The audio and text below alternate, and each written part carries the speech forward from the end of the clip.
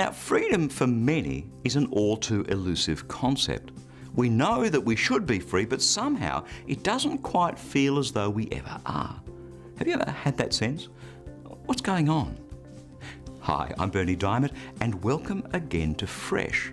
When our lives aren't going quite the way they should be, we have two options to just keep on going and doing the same thing over and over again, or to decide at some point to get off that wretched merry-go-round and try something different. But how do you do that?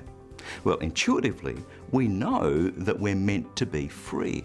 We're not meant to be slaves to some addiction or, or bad behaviour that we know absolutely is ruining our lives. But freedom is an all too rare commodity. I meet a lot of people, and I can tell when someone has that gleam of freedom on their face, that innate God given sense of well being and peace and joy in their hearts. But honestly, I don't see that all too often. So, how do you get free? How do you get off this merry-go-round that never seems to stop? You've tried, but nothing's ever worked. When Jesus was talking to some folk who were enslaved to their sin, but they just couldn't see it for themselves, he said this to them John chapter 8, verse 36. So if the Son sets you free, you will really be free.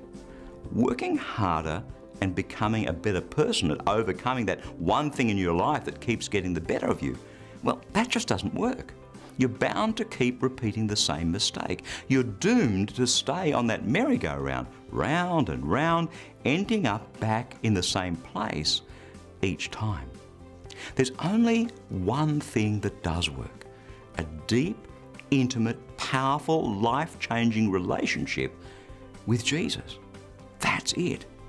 And that's God's Word, fresh for you today.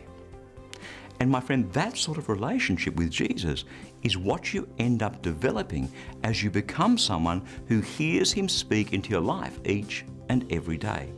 That's why you can receive this devotional into your inbox each day. Just stop by at ChristianityWorks.com and you'll see that fresh sign up right there at the top of the homepage. It's completely free. And when you do subscribe, you'll immediately receive a copy of my ebook, How Can I Hear God Speak to Me? That web address again is ChristianityWorks.com.